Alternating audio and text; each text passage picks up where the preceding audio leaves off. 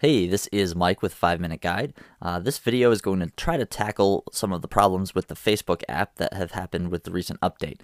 Um, a lot of people have updated their phones or their phones have automatically updated and they found that the Facebook app isn't working anymore.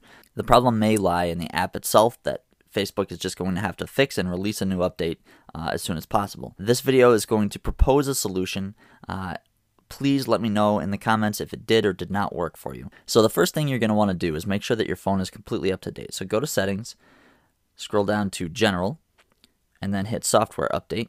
It'll check and make sure your phone is up to date. If it's not up to date, on this screen you'll have the option to install the most recent update to your phone's operating system. Uh, currently, at the time of this video, it's 7.0.3.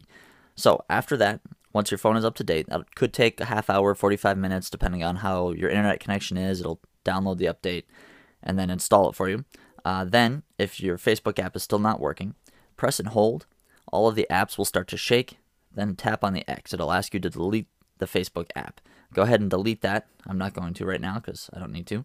Um, then, once it's deleted, press your home button to stop everything from shaking, and then hit the App Store. Tap on Search and search the Facebook app.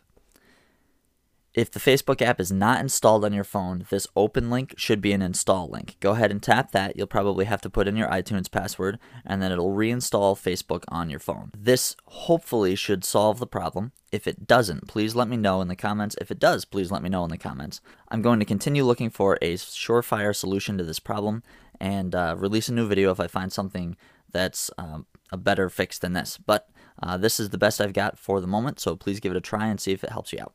If this video has been helpful for you, please like it, share with your friends, subscribe to my channel even. Uh, other than that, I will see you next time.